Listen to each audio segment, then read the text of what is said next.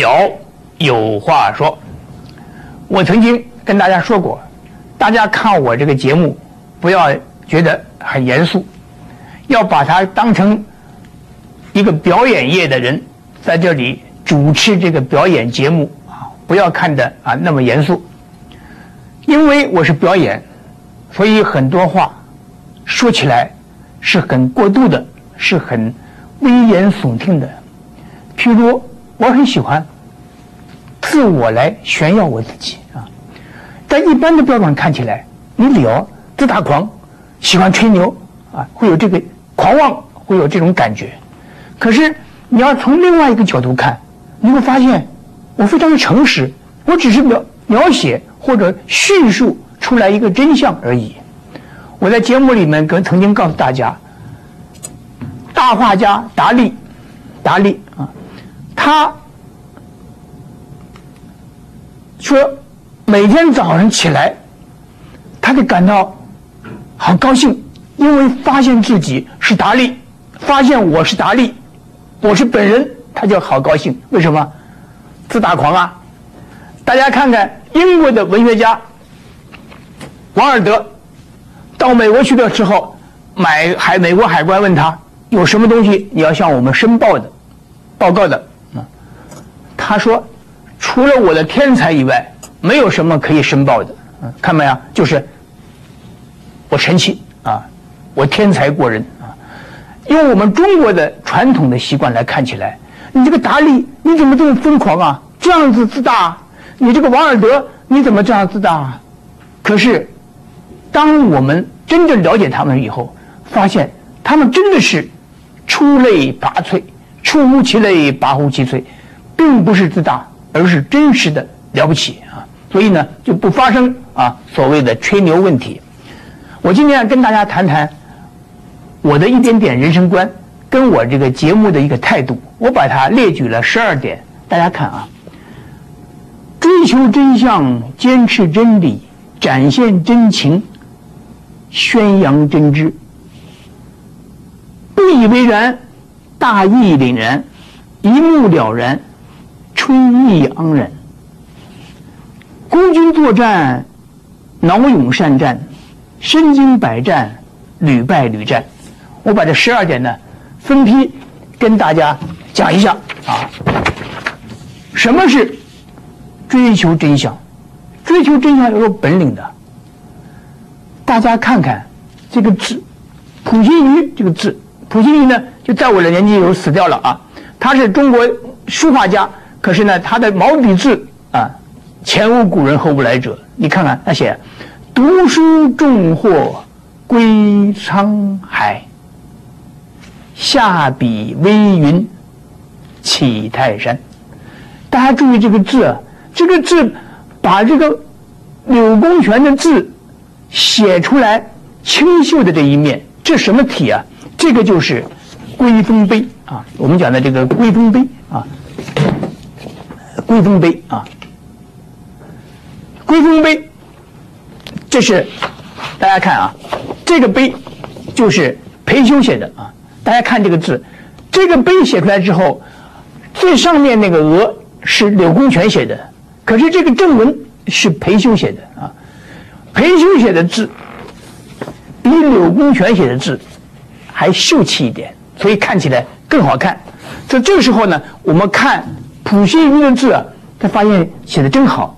大家看这个对联：“读书重获归沧海，下笔微云起泰山。”现在正是描写我李敖啊，我李敖就是这个本领啊。读书重获归沧海，下笔微云起泰山。我做节目也是啊，电视微云起泰山，我就有这个本领啊。第一个，我们要学到追求真相。追求真相干什么？大家看齐白石。刻的这个印呢，看到没有啊？有眼应识真伪。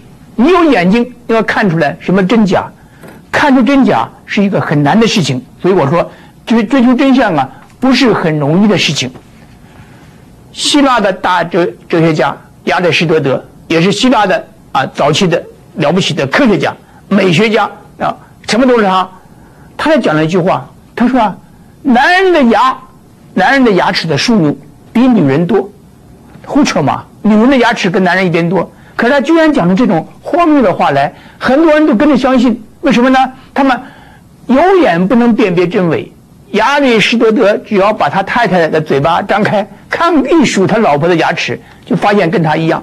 可是呢，他们不这样去研究，所以呢，就发生了笑话啊！追求真相难不得，难的不得了。我们再想想看，王安石、王王王阳明有一段话，他说啊，看到没有？他说格物，我们格物致知，诚立正心啊，格物。只要说要依照朱朱朱朱子的话啊啊，可是呢，他说他与他的好朋友啊钱有同一起做圣贤啊，要格天下之物啊，怎么样呢？格的结果呢？这个姓钱的朋友啊，钱有同啊，早上晚上都是隔竹子，就看着竹子去隔啊，隔竹子道理，竭其心思啊，到了第三天，劳神成疾，累病了，看竹子看病了啊。然后到了七，他自己的我我王王王阳明自己也去格物，也去格，早隔到早上，隔到晚上得不到道理。到了第七天啊，也生病了，看到没有？于是乎两个人呢就开始叹，互相叹气，说圣贤呢是做不得的啊，为什么呢？就太难做了。这是格物吗？你要研究这个竹子，我们现在知道把它剖开。把它化验，啊，显微镜来看，这才是研究竹子嘛，这才是格物啊！你们这两个傻瓜，把竹子摆在那里去看竹子，看三天到七天，把两个人都累病了。为什么？方法不对啊！当你方法不对，你就追求真相追求不到了。所以看到没有？追求真相，坚持真理，展现真情，宣扬真知。第一点，方法要对。大家看到我李敖在这里干什么？就是表现我用什么样的方法来求知，用什么样的方法来获得证据，然后讲给大家听啊。所以呢，我们再看这种情况啊，就是坚持真理的时候啊，大家可以看到啊，这种方式啊，这在《大唐新语》里面有段话，他说：“胆欲大而心欲小，志欲圆而行欲方。”什么叫做胆欲大而心欲小啊？就是胡适所说的。大胆的假设，小心的求证。什么叫做志欲圆而行欲方呢？啊，就是我的智慧要很周延啊，可是我的做法啊要很方正。错的，这句话应该反过来说，叫志欲方而行欲圆，就是我对人间的事情了解的，什么是真理，我掌握的很好。可是行运方怎么样呢？当我行行运圆怎么样呢？就我推动这个真理的时候，我要有技巧。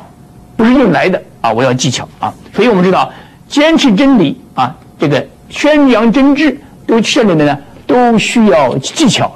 所以这时候，技巧之一就是展现真情，就是啊，我是玩真的，你知道我我是玩真的，我的喜怒哀乐都是真的。所以我们看到康有为的对联，他说：“筋骨必成，皆乐趣，皆乐趣，天人。”心感有深情啊，筋骨必成，皆乐趣。天人心感有深情，有深情才是能够动人。即使你的深情是张牙舞爪，即使你的深情是充满了喜怒哀乐，你的深情充满了快意恩仇啊，都可以。我的意思。感情要混进来，当然这个感情是建筑在你理智的求知上面，所以这个时候呢，用这个方法呢来推广真理是很重要的啊。然后我要跟大家谈啊，什么叫做宣扬真知？追求真相，坚持真理，展现真情，宣扬真知。什么是真知啊？就是我告诉你东西是真的东西。比如说，我反对迷信，反对什么紫微斗数，反对什么算命，反对什么风水，反对什么星象，反对什么这些怪力乱神，我通通反对。就是我提倡的知识是真的知识，不是那种虚幻的、虚伪的知识。这点是很重要的，一般人呢做不到啊。我给大家宣传的这个真的知识啊。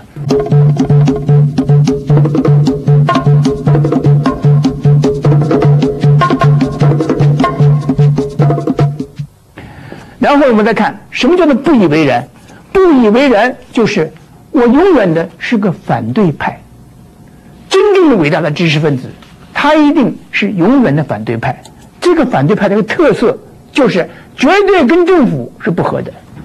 政府说东，我说西；政府说南，我说北。知识分子要不反对政府，这绝对不是好的知识分子啊。那政府是不是每件事都错呢？也不一定。可是为了表达你反对的这个立场，你要说他错。这话怎么讲呢？美国大法官是九个人。当年一个有名的大法官叫霍姆斯，霍姆斯啊，在法律见解上面，这个案子啊明明需要九票通过的，他也知道从法律见解上面是正确的，他应该赞成的。可是当其他八个大法官投反对票的时候，投赞成票的时候，他一定投反对票。为什么呢？就是代表反对的精神比众口一声的这种情况更重要。这就是。不以为然！什么是大义凛然？什么是大义凛然？大义凛然，我们可以看到，当全国口口声声都诬赖一个犹太军官的时候，当全国的军方都诬赖一个军犹太的军人的时候，文学家左拉他会站出来啊，来讲公道话啊！这就是左拉啊，他讲公道话，他被军方是那样子污蔑，把他丢到垃圾桶去的。做法，可是呢，他能够站出来讲公道话，这就是大义凛然啊。然后我们再看什么是一目了然，一目了然就是你会用一个方法，把你所要说的东西啊，用最清楚的语言、最生动的语言或者最生动的图片推出来给大家看，这叫一目了然。不要把话说了半天不知不不知所云，这个不行的。大家看看我离开监狱的时候。哎，我留下这个东西干嘛？户口检查签张表，就是警察查我户口这么张表。大家看看，这叫一目了然，看到没有？你看没有？一九七六年十一月二十五号来查我户口，然后十二月十六号、十二月二十八号、一月十号、一月二十五、二二月七号、二月二十五、三月十号、三月二十五、四月九号啊，四月二十五，干什么？干什么？每半个月查你一次户口，盯我盯得这么紧，你出院出了狱了，可是警察每半个月来看看你，干嘛往上报啊啊？可是你看大家看到没有，这个的一目了然，你就知道在那种国民党的黑暗统治之下，白色恐怖之下，我是怎么样活过来的啊？这叫做一目了然啊。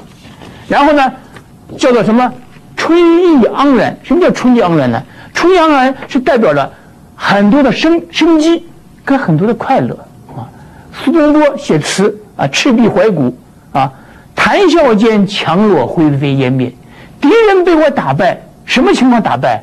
不是我啊高声呐喊啊，不是这样子，是我在谈笑之间把他打败。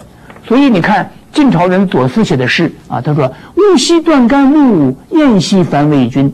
乌木吕仲连，谈笑却新君。”我敬佩段干木这个人，因为他躺在床上就把魏国的皇帝、魏国的统治者沦为番薯了。我羡慕柳仲连，因为他在谈笑之间啊，把秦国的军队给血给说退了啊。所以我们看到这个春意盎然，这代表这个这个有趣啊。第九点，孤军作战。孤军作战就是说，当你推动你的思想的时候。你不要怕孤立哦，很多人孤立啊。中国共产党的创始人陈独秀虽然后来被开除党籍了啊，当然现在共产党的历史写法对他比较这个公正了，因为觉得这是过去的事情了。可是后来周恩来跟他谈，说你认错你就回来，他不肯认错，可是他很孤立，他说我不怕孤立。我给大家看张照片，全部都是错误的。大家看，左派右派的照报报刊报章刊物上面，书上面都说这陈独秀，说这陈独秀，说这是陈独秀，其实这个人不是陈独秀。这张照片错误是出在这里，看到没有？他跟彭树之，跟彭树之一起出来，在地方法院出来。陈独秀是右边这个人。彭树之是左边这个人，这是彭树之，啊，陈独秀呢是这陈独这的陈独秀啊，这的陈独秀啊，所以我们看得很清楚。可是为什么这个搞错呢？为什么搞错呢？因为这是一九三二年十一月三号的《北洋画报》上面搞错的，事实上呢，应该是七月的《良友》七十一期的画报。所以看到没有？这是。陈独秀是左边的，站在这里笑的这个人，这是陈独秀。右边才是彭树之，所以《良友画报》这个报道正确的。过去大家都跟着，这个《北洋画报》错了，所以一直错到现在啊。不怕孤立，可是做到这一点，并不是孤芳自赏，而是要孤芳共赏啊！大家一起能够看到你。这才是本领啊！所以我们才看到这是孤军作战。可是呢，最后一个呢，什么是老勇善战？不但会作战，我还能够打得很很了不起，能够打仗啊！这是一个本领啊！这时候呢，我们就可以看到什么是脑勇善战的人，就是我李敖啊！我跟我的朋友郭观音这个照的相啊，郭观音啊，郭观音就查出来当年国民党。因为把我干掉，当时郭文英查出来，当时陈其礼他们去见安全局局长汪精旭，说台独利用本帮会壮大，朱联邦可为国家效力啊，这个朱联邦啊，后来呢就是开始啊就要教训李敖啊，结果呢搞错了，陈其礼他们啊先杀掉了江南啊，江南被杀，江南被杀。后来陈其礼就是抓起来朱联邦的老大啊，江南被杀啊，我呢就躲过了一劫，所以我跟大家说，我虽然骁勇善战，虽然身经百战啊，虽然屡败屡战，可是我有一个好运气。什么叫做屡败屡战？当年大家打败了仗，写报告的时候。就说一个人屡战屡败，那个时候呢，曾国藩就出来，把屡战屡败，曾国藩出来，把这个屡战屡败的成文一圈，就改成了屡败屡战。虽然这个人每次打败仗，可是每一次还继续打仗，所以曾国藩呢，这么把这个屡战屡败改成了屡败屡战，就给了政府，给了皇帝。一个开脱的口实，并且给这个打败仗的手下一个机会，嗯，表示说你虽然打败仗，可是你非常勇敢，还继续打下去。我跟大家说，我一辈子就是这样子啊，我又老勇善战，又身经百战，又屡败屡战，而不是屡战屡败啊，是屡败屡战，最后被我打赢了。我有这么好的机会，我能够活到现在，啊，不是吗？啊曾国藩还讲了一段话，这个老兄啊，六十一岁就死掉了啊。他讲了一段话，他说：“不信书，信运气。”这话讲起来有一点点愤世嫉俗。他说：“看这么多书是没有用的，要有好的运气。不信书，信运气。”那曾国藩一辈子讲事功、讲读书都不错的，可是他活的不久，他活了六十一岁。就死掉了，啊，运气是很重要的。我一辈子只做一第一次牢的时候，刚做的时候，判了十年，应该关十年啊。可是为什么我第一次五年八个月就出来了呢？因为我运气好，蒋介石死掉了，他一辈子就死一次，哎，我碰到了。蒋经国要搞，给人家看他们的好的形象，就搞了一个台湾的大社。整个大赦下来七折八扣，哎，我五年八个月就出来了。我第一次坐牢五年八个月，可是判是判了十年，我运气好碰上蒋介石死掉了，不是吗？啊，所以好的运气也是非常重要的。按照我的好朋友刚才给大家展示的郭观音的调查，当时国民党的情报局是要干掉我，找黑社会的竹联帮干掉我，结果阴错阳差，竹联帮先干掉了江南，所以江南死了。江南死了，这个事情整个曝光了，美国人闹起来了，所以国民党对我就不敢动手了。所以我能够死里逃生。因为什么？因为我有好运气，所以虽然我刚才说了半天，追求真相、坚持真理、展现真情、宣扬真知，不以为然、大义凛然、一目了然、春意盎然，孤军作战、骁勇善战、身经百战、屡败屡战。可是最后归到一点，我告诉大家，我坦白告诉大家，我有好的运气，我能够活到现在。